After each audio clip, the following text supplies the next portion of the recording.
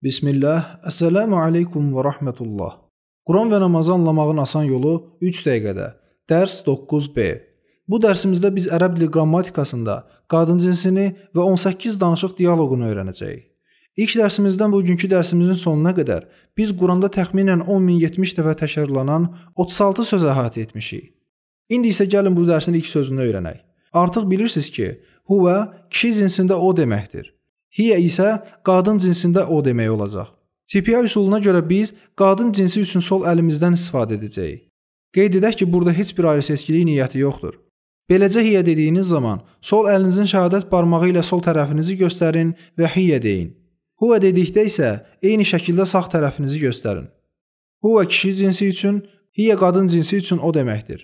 Gəlin indi isimləri qadın cinsinə çevirə bilmək üçün bir qayda götürək. Məsələn, bir sıra insan adlarına nəzər salaq.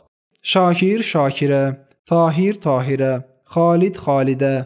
Burada bir qayda vardır. Sözün sonuna tə mərbutə, yəni bağlanmış tə əlavə etmək. Əgər siz muslim sözünü götürsəz, bunun qadın cinsi muslimatun olacaq. Bundan başqa muslimun sözünün də qadın cinsi muslimatun olacaq. Ancaq sözün sonunda duracaqsa, biz sadəcə muslimah deyə bilərik. Beləcə muslimun, muslimah mümin, müminə, salih, salihə və s. olacaq. İndi isə siz TPI-dən istifadə edərək bu nümunələrin qadın cinsini söyləyin. Huwa muslim, hiyə muslimə. Huwa mümin, hiyə müminə. Huwa salih, hiyə salihə. Çox gözəl. Gəlin başqa bir söz götürək. Həzə kişi cinsi üçün bu deməkdir. Həzihi isə qadın cinsi üçün bu deməkdir. Həzə, həzihi. İndi isə siz TPI-dən istifadə edərək bu cümlələrin qadın cinsi üçün formalarını söyləyin. Həzə muslim, həzihi muslimə, həzə mümin, həzihi müminə, həzə salih, həzihi salihə. İndi isə növbəti sözə keçək. Rabbuhu kişi cinsi üçün onun Rəbbi deməkdir. Rabbuhə isə qadın cinsi üçün onun Rəbbi deməkdir.